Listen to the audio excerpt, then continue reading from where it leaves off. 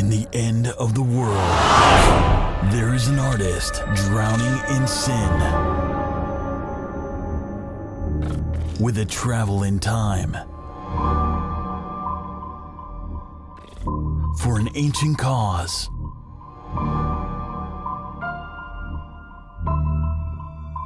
Decides to reconstruct the past.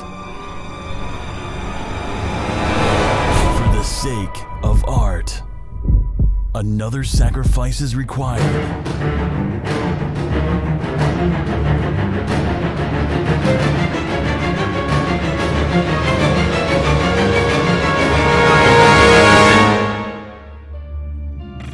The sacrifice of the model.